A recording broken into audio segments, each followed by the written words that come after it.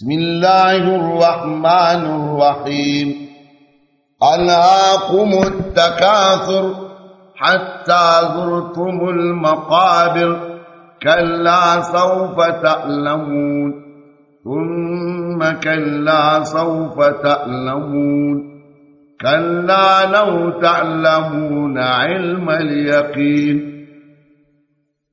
لترون الجحيم ثم لترونها عين اليقين